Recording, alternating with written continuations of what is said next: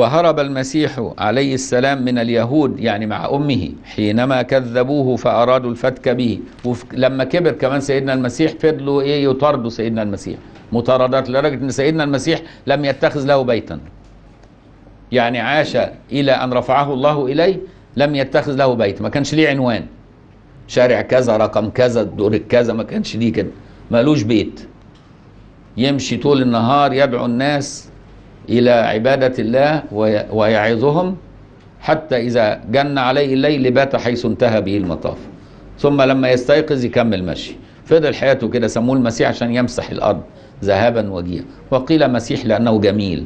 فالجميل يسمى أيضا مسيح. فأرادوا الفتك به حتى كان من ضمن تعاليمه لتلاميذه طوبى للمطرودين من أجل البر. لأن لهم ملكوت السماوات. ثم قال بعد افرحوا وتهللوا لأن أجركم عظيم في السماوات فإنهم طردوا الأنبياء الذين قبلكم. وسل القرى التي حلت بها نقمة الله بكفر أهلها كديار لوط وعاد وثمود تنبئك عن مهاجرة الأنبياء منها قبل حلول النقمة. هو سيدنا لوط يعني راح فين؟ لما إيه؟ لما جاء أوان إيه هلك ق- قومه. جم الملائكة قالوا له إيه؟ هاجر منها. عشان إيه؟ وكذلك سيدنا صالح وكذلك كل الأنبياء السابقين تركوا ديار قومهم عند حل عند حلول العذاب عليهم حتى يهاجروا إلى مكان آخر فيه أمان. فلا غرابة أن هاجر صلى الله عليه وسلم من بلاد منعه أهلها من تتميم ما أراده الله سنة الله في الذين خلوا من قبل. وسنة يعني طريقة يعني إيه؟ يعني أسلوب يعني منهج. سنة الله في الذين خلوا من قبل ولن تجد لسنة الله تبديلا. هيلخص لك بقى المصنف الأعمال اللي تمت في مكة. لأن النبي ظل في مكة ثلاثة عشر عاما. إيه الأعمال بقى اللي تمت في مكة؟ اختصارا كده تجميعا للأفكار. بيقول هذا ولنبين لك مجمل ما دعا إليه الرسول صلى الله عليه وآله وسلم بمكة من أصول الدين. كلمة أصول الدين يعني العقائد. وفروع الدين يعني إيه؟ يعني الطاعات يعني الفقه. يبقى أصول الدين هو العقائد وفروع الدين هي الايه الأعمال التكليفية المتعلقة اللي جمعناها في علم الفقه. أصول الدين جمعناها في علم العقائد وإيه؟ والعبادات والتكاليف الشرعية جمعناها في علم سميناه علم الفقه. يبقى عندنا في علم أصول الفقه اللي هو العقائد وفي علم الفقه نفسه اللي هي إيه؟ الأعمال التكليفية التي يتكلفها المؤمن بسبب إيمانه فكيف يعبد ربه وكيف يسعى في الأرض على وفق منهج ربه. ولنبين لك مجمل ما دعا إليه الرسول صلى الله عليه وسلم بمكة من أصول الدين وذلك أمران. الأول الاعتقاد بوحدانية الله. وألا يشرك معه في العبادة غيره. سواء كان ذلك الغير صنما كما يفعل مشرك مكة أو أبا أو زوجة أو بنتا كما عليه بعض الطوائف الأخرى كالنصارى. ولولا الاعتقاد بوحدانية الله ما كلف أحد نفسه تكاليف الحياة من آداب الأخلاق. بل كان يسير فيما تأمره به نفسه من شهواتها وملذاتها ما دام ذلك خفيا عن الناس. يعني لولا إن ربنا يدلك على تكاليف شرعية لكنت عشت إيه؟ على مقتضى شهوتك وعلى مقتضى هواك. والشهوة والهوى يهلك الإنسان أيام هلاك لدرجة إن البلاد اللي عايش فيها الناس بلا شرع وبلا دين اللي هم الملاحدة زي في أوروبا تجد نسب الانتحار عندهم ما فيهاش سعادة. ده عندهم كل وسائل الترفيه لكن ما فيش سعادة نفسية ولا راحة نفسية. فتجد نسب الانتحار والشقاء والاكتئاب والأمراض النفسية في البلاد دي لدرجه أنه بيفروا منها بالخمر. يعني هم لا يستطيعوا أن يستغنوا عن الخمر لأن الخمر بتسكن إيه جوع الروح إلى معرفة مولاها. فهو كأنه بيخدر نفسه. لكن المؤمن مش محتاج خمر خلاص. عنده خمر ذكر الله معرفة الله. لذة ذكر الله تفوق كل خمر. فهمت؟ وعلشان كده تجد البلاد دي اللي هي أنكرت وجود الله ومشيت مع ملا... يعني شهواتها لم تجد السعادة. بل عاشت شقية مسكينة. فهم محتاجين من يمد إليهم يد إيه ال- الدعاء إن ربنا سبحانه وتعالى يدلهم إلى ما فيه خيرهم. لأن هم برضه إخواننا في البشرية. مش كده؟ كلهم كلنا لآدم وآدم من تراب. فهم برضه إخواننا مسؤولين عنا إننا نعلمهم وإننا نأخذ بأيهم. وإن وإحنا ما نعلمهمش إلا لما نبقى إحنا قدوة حسنة. سلوك حسن. الكلام مش رغي كتير هي. يعني الدين مش إنك تتكلم كتير لا تعمل كتير. لما تعمل الناس بيتعلموا من عملك أكتر ما بيتعلموا من قولك. الثاني الاعتقاد بالبعث والنشور اللي هي الأمور الغيبية بقى. إحنا عندنا إيه؟ الإيمان ينقسم إلى ست أركان. الإيمان بالله وملائكته وكتبه ورسله واليوم الآخر والقضاء والقدر. مش كده برضو؟ أدي ست أركان. يبقى النبي صلى الله عليه وسلم كان يؤسس لهذه الأركان في إيه؟ في قلوب أتباعه في مكة اولا. الاعتقاد بالبعث والنشور اللي هو اليوم الآخر والحساب وأن هناك يوما ثانيا للإنسان يجازى فيه على ما صنعه في الدنيا إن خيرا فخير وإن شرا فشر.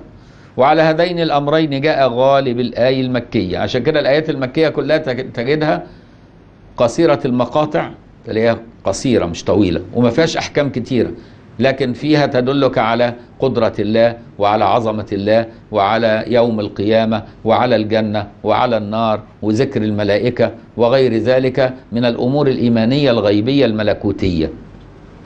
لأن الملكوت نسبة لكل ما لا تراه. وعلى هذين الأمرين جاء غالب الآية المكية فقلما نرى سورة من سور مكة إلا مشحونة بالاستدلال عليهما وتوبيخ من تركهما. وكل ذلك بأساليب تأخذ بالعقل وبراهين لا تحتاج لفلسفة الذين يشغلون أنفسهم بما لا طائل تحته مما يضيع الوقت سدى يعني أنت لما تكثر من تلاوة القرآن وتصلي بيه كتير ما لا تجد عندك شبهة. لأن الآيات بترد على هذه الشبهات اللي قد تطرأ على ذهن أي مفكر. الحافظ القرآن والمكرر لتلاوة القرآن بتنطبع العقائد في قلبه بلا شبهة بالتدريج مع كثرة تلاوة القرآن. فلا يجد عنده إيه قضية تشتبه بين مثلا مشيئة الله وإرادته. هل الإنسان مسير ولا مختار؟ هل الإنسان مجبور على فعله؟ هل في إيه أدلة وجود الله في الأكوان؟ إيه أدلة البعث والنشور؟ كل ده تجد آيات كثيرة في القرآن تقرأها ليل نهار مع التكرار. تبص تلاقي إيه؟ ترسخ في قلبك وإيه؟ وتنبت شجرة الإيمان. فمش محتاج كلام الفلاسفة بقى ولا محتاج كلام أدلة وجود الله عند المناطقة زي ما بيدرسها بعض الطلبة في الأزهر وساعات يبقى إيه مش حتى مش فاهم الدليل لكن يقرأ الآية يفهمها ويجي يقرأ دليل المناطقة دليل التمانع ودليل مش عارف إيه ودليل إيه اللي كنا نقعد نسمعها دليل مناطق. أدلة لطيفة تناسب لما تكلم واحد إيه بينكر القرآن أصلا. يعني هي تعينك في دعوة غير المسلم. لكن المسلم مش محتاجها. المسلم من كثرة تلاوة القرآن مش محتاج هذه الأدلة. فهمت بقى المسألة؟ وعشان كده معرفة الأدلة المنطقية دي تكفي فرض كفاية يعني يقوم بها البعض من المسلمين مش شرط يتعلمها كل مسلم. يكفي أن كل مسلم يحفظ كلام الله وآيات الله سبحانه وتعالى. قل إن كنتم في ريب من البعث فإنا خلقناكم من تراب ربنا خلقنا من تراب واخد بالك؟ وبعدين مش كده وبس وبعدين بنعيش ونموت ويتولد غيرنا. وانت وإنت عايش بتموت وتبعث كل لحظة. ضفرك يطول وتقصه. اللي قصته ده مات ويجي حياة جديدة. شعرك يطول وتقصه. اللي قصته ده مات ويجي شعر جديد. يعني انت حي ميت في آن واحد. ده في كل لحظة البعث والنشور في جسمك. ده الغشاء المخاطي اللي موجود في الفم ويمتد للبلعوم للمريء للمعدة لحد ما يخش في الأمعاء لحد ما ينتهي بالإست وفتحة الشرج. كل دي أنبوبة طويلة. اسمه جهاز الهضمي. تصور إن الغشاء المخاطي الناعم ده بيتجدد يموت ويتجدد كل يوم كل 24 ساعة. كل 24 ساعة بيتجدد لدرجة إن 70% من حجم البراز هو من الأنسجة دي. والباقي من الأكل. يعني الأكل يمثل 30% من البراز اللي أنت بتتبرزه. شوف قد إيه؟ 30% بكتيريا وطعام. طب وال 70% الأنسجة اللي بتتجدد ماتت وحية غيرها. يعني أنت حي ميت أيها الإنسان في كل لحظة. ده أنت بتموت وتبعث في كل لحظة. الدم كرات الدم الحمراء عمرها كام يوم؟ 120 يوم. يعني كل 120 يوم بتموت خلايا وتعيش خلايا.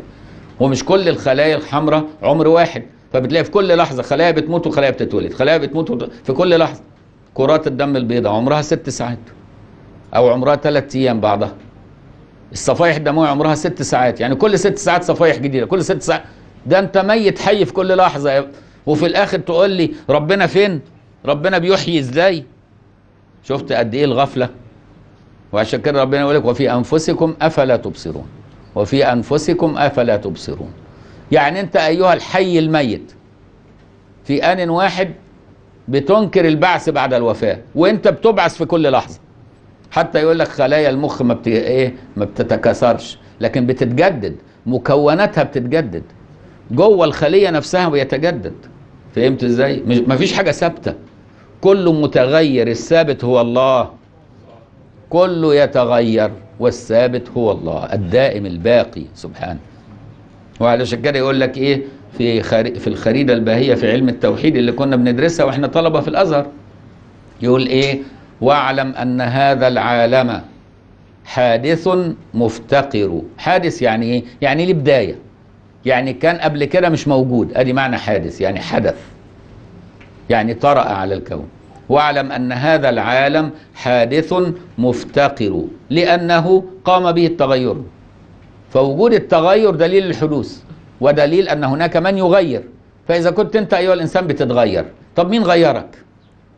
انظر لصورتك وانت مولود كده. كانوا زمان إيه يصوروك وانت مولود ويمكن حتى وانت قالع هدومك كلها. فرحانين بيك لسه مولود بقى. وبعد سنة اتنين تلاتة يصوروك تاني وانت لابس لبس الأطفال كده. وبعدين لما تخش المدرسة يصوروك بلبس المدرسة. وبعدين لما تخش الجامعة يصوروك بلبس الجامعة. وبعدين لما تتجوز يصوروك وانت متجوز. وبعدين لما تتحل على المعاش يصوروك صورة المعاش. طب انت واحد اهو شوف صورتك اتغيرت كم مرة؟ من الصورة دي في أي صورة ما شاء ركبك. من الذي غيرك؟ الله. وفي الآخر يقول لك ربنا فين؟ الله. عشان كده الإلحاد ده مرض عقلي نفسي. يعني خلل عقلي ومرض نفسي الإلحاد لكن أي إنسان سليم العقل مطمئن النفس لابد يعرف أن له خالق وموجد ومغير وأنه مقهور بقهره. كل إنسان كده سليم النفس سليم العقل. وعلشان كده ربك سبحانه وتعالى أدلة وجوده مش محتاجة يعني تقعد تدرس وتخش الأزهر وتلبس العمة وتمتحن. لا ده ده, ده واضحة يا أخي. ده عارفها الأعرابي البسيط. البعرة تدل على البعير والأثر يدل على المسير. أفلا يدل ذلك على ذات العليم الخبير؟ كل ده تجده إيه؟ في الآيات القرآن كتير. كنت طول ما أنت بتقرأ عشان كده قارئ القرآن مش محتاج أدلة كتير. ما عندوش شك لا يت... عارف الشك نشأ في بلاد المسلمين إمتى؟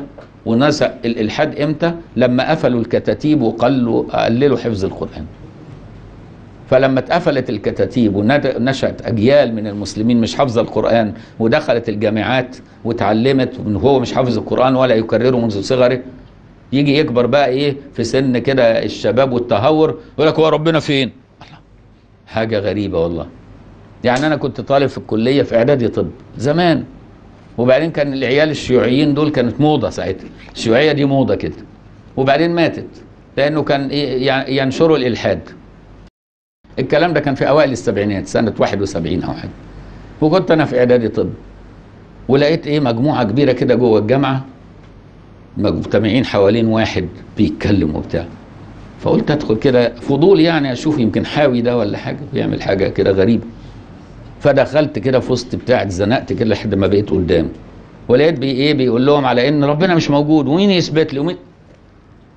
فأنا ببساطة كده ما كنتش يعني عندي جدل ولا حاجة. أنا كنت يعني إنسان بسيط لسه طالب طالع من ثانوية عامة داخل على الجامعة. فبقول له لو سمحت بالراحة شوية كل الناس اللي واقفة بتسمعك دي بتقول ربنا موجود. أنت بس اللي بتقول مش موجود. أنت المفروض تثبت لنا إنه مش موجود. لأن أنت اللي جايب بالغريب. فالغريب هو اللي يثبت.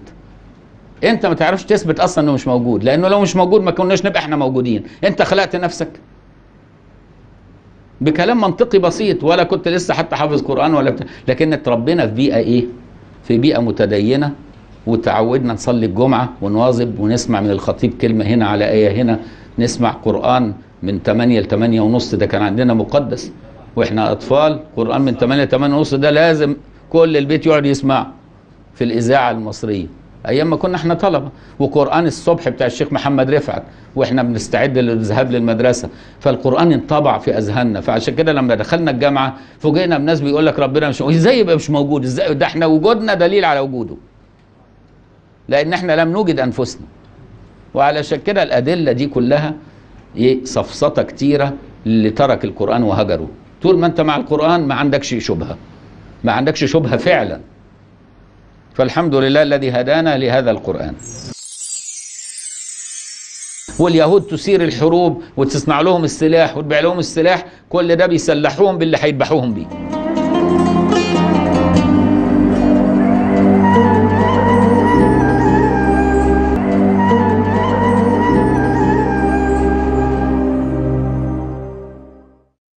ونزل على رسول الله صلى الله عليه وسلم بمكة من القرآن معظمه وهو ما عدا 23 سورة منه.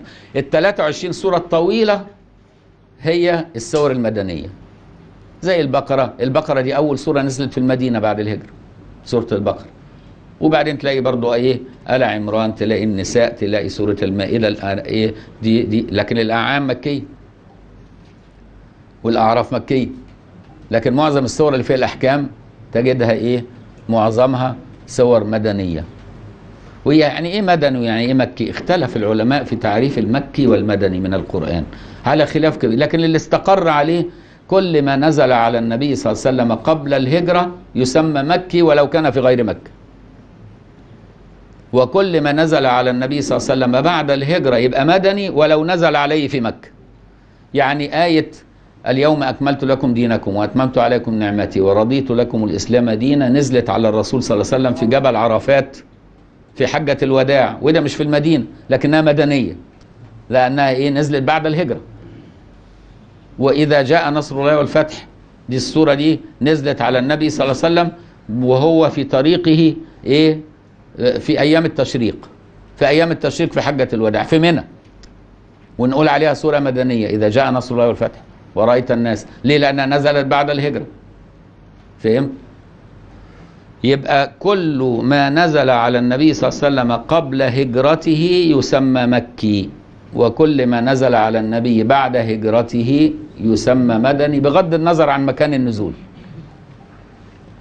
فيبقى عندنا 23 سورة إيه؟ مدنية وهي البقرة آل عمران النساء المائدة الأنفال التوبة الحج. النور الأحزاب القتال اللي هي سورة سيدنا محمد اسمها القتال. الفتح الحجرات الحديد المجادلة الحشر الممتحنة الصف الجمعة المنافقون التغابن الطلاق التحريم النصر اللي إذا جاء نصر الفتح. هذه كلها مدنية وبقي القرآن إيه؟ مكي. ولما نزل صلى الله عليه وآله وسلم بقباء نزل على شيخ من بني شيخ بني عمرو كلثوم بن الهدم وكان يجلس للناس ويتحدث لهم في بيت سعد بن خيثمة. يعني النبي صلى الله عليه وسلم يقعد في بيت سعد بن خيثمة وده من أعيان قومه وكان بيته واسع. فكان النبي يقعد في هذا البيت يحدث الناس. ما كانش لسه اتخذ المساجد. لأنه كان عزبا. وليه اختار بقى إيه سعد بن خيثمة؟ عشان أعزب ليس عنده نساء. فلا يجرح إيه حرمة البيت صلى الله عليه وسلم. وده من آداب النبوة الشريفة. ونزل أبو بكر اللي هو كان إيه رفيق النبي في الهجرة بالسنح محل في المدينة مكان يعني في المدينة. على خارجة بن زيد. ما كانش في فنادق. الناس لما بتنزل بتستضيفهم إيه؟ أهل البلد. ما كانش لسه في فنادق ولا أوتيلات ولا الحاجات دي. على خارجة بن زيد من بني حارس من الخزرج. وبعدين طبعا النبي في قباء هيبني إيه؟ يبني مسجد قباء. وعشان كده مسجد قباء كان أول مسجد أسسه النبي في المدينة المنورة. وكرامة هذا المسجد عجيبة يا أخي. لما تتوضا وتروح تصلي فيه ركعتين تاخد ثواب عمرة. حاجة إيه ده؟ حاجة يعني عجيبة. كأن ربنا سبحانه وتعالى ببركة وجود النبي في المدينة الصحابة لما هاجروا مع النبي كانوا يشتاقوا للكعبة. لأن اتولدوا هناك. وكل يوم كانوا يطوفوا وكل يوم شايفين الكعبة. فأم ربنا سبحانه وتعالى أراد أن يعوضهم. لو مشتاق تعمل عمرة طب صلي ركعتين في قباء تاخد ثواب عمرة. بإكرام. يبقى طول ما أنت مع النبي أنت كسبان. خد بالك مش تقول أنا اتحرمت من العمرة. لا يا سيدي لما مع النبي ما اتحرمتش من حاجة. وعلشان كده صارت إيه؟ دايدا كل مسلم يزور المدينة لازم يا أخي يزور قباء ويصلي في ركعتين. بقت من ضمن المزارات. إلى يومنا هذا. وإلى أن يشاء الله. لأن صلاه ركعتين وكان النبي صلى الله عليه وسلم كل يوم سبت بالذات. كان إيه يتوضأ في بيته ويروح لقباء مشي على أقدامه صلى الله عليه وسلم. ويصلي هناك ركعتين وهو راجع يمر على بيت أم حرام في الطريق. يستريح عندها يقيل القيلولة بتاعته. وبعدين بعد كده يكمل ويرجع يصلي الظهر في مسجده الشريف. كان كل سبت يعمل كده صلى الله عليه وسلم. وأقام رسول الله صلى الله عليه وسلم بقباء ممكن تقول قباء وقباء وقبى بغير همز وقبى كل دي لغات فيها. وأقام رسول الله صلى الله عليه وسلم بقباء ليالي أسس فيها مسجد قباء الذي وصفه الله بأنه مسجد أسس على التقوى من أول يوم. وهذا الوصف اللي في الآية هو وصف مسجد قباء ومسجد النبي كذلك. فهو الايه للمسجدين؟ وصلى فيه صلى الله عليه وسلم بمن معه من الأنصار والمهاجرين وهم آمنون مطمئنون. كانت أول مرة بقى النبي يصلي إمام كده ويقف في المحراب ويقول الله أكبر وراه صفوف. المدينة المكة ما كانش الحكاية دي الصورة دي مش موجودة. لأنه كان إيه؟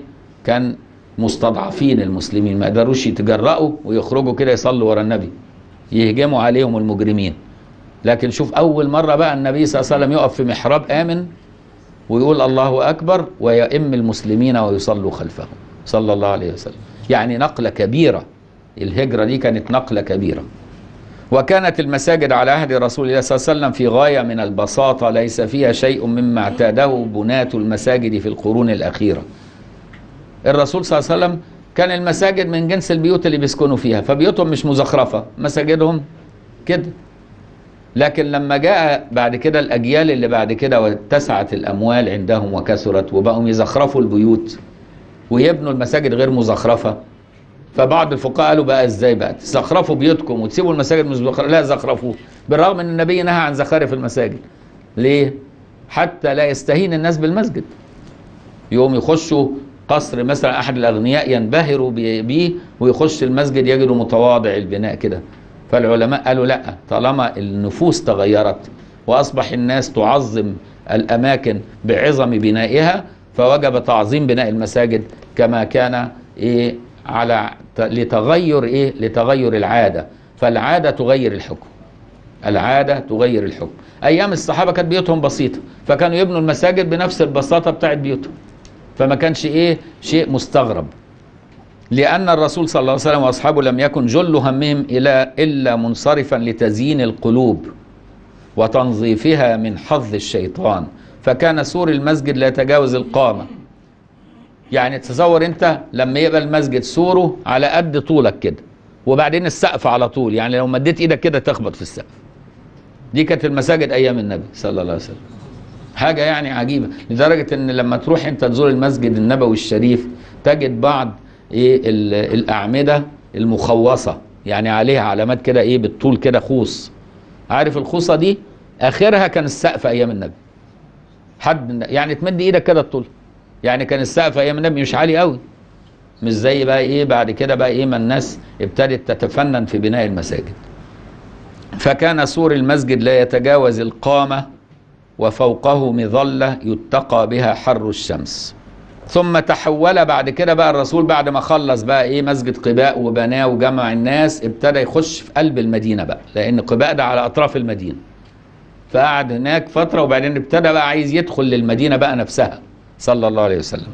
ثم تحول صلى الله عليه وسلم إلى المدينة والأنصار محيطون به متقلدي سيوفهم. يعني النبي ماشي في موكب كبير وزي ما قلت لك الأنصار دول كانوا إيه؟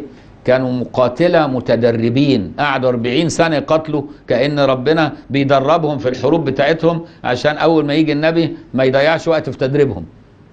فكانوا مدربين. إن ربي لطيف لما يشاء. يثير النعرات واليهود تثير الحروب وتصنع لهم السلاح وتبيع لهم السلاح. كل ده بيسلحوهم باللي هيذبحوهم بيه. سبحان الله يا أخي. إن ربي لطيف لما يشاء. فالنبي صلى الله عليه وسلم لما وصل بقى ودخل المدينة دخل في وسط كوكبة كبيرة من الجند المدججين بالسلاح المتدربين. وحوش وحوش فعلا. الواحد منهم كان بجيش. الواحد منهم كان بجيش رضي الله عنهم وأرضاهم. وهنا حدث حدث ولا حرج عن سرور أهل المدينة.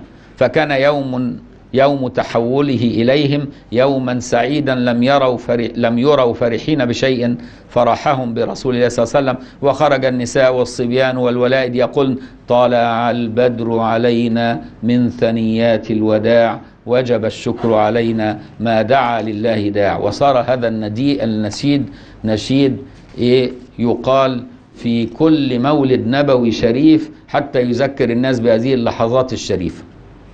أيها المبعوث فينا جئت بالأمر المطاع. وكان الناس يسيرون وراء رسول الله صلى الله عليه وسلم ما بين ماش وراكب يتنازعون زمام ناقته. يعني كمان كل واحد بيتسابق مين اللي يمسك زمام ناقة النبي ويتشرف بأنه يقترب من النبي أو ينظر إليه نظرة أو يأخذ منه لفتة. صلى الله عليه وآله وسلم. كل يريد أن يكون نزيله. وكلهم بقى عايزين إيه؟